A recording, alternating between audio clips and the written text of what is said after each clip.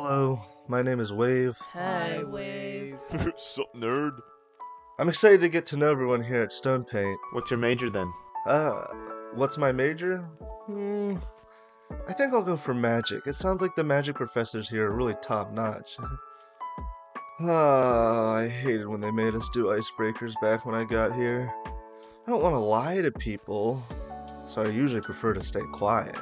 But they don't just let you not speak at these kind of things. Anyway, I wonder how mom, dad, and sisters are doing. I should probably write them and let them know I'm fine. As fine as a quiet, loving person like me can be with that rambunctious rascal running around everywhere. Well, I guess it's not all bad. I'd be lying if I said it wasn't a little fun.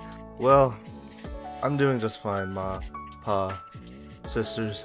I'll stay in touch. Signed, Wayve Gravia.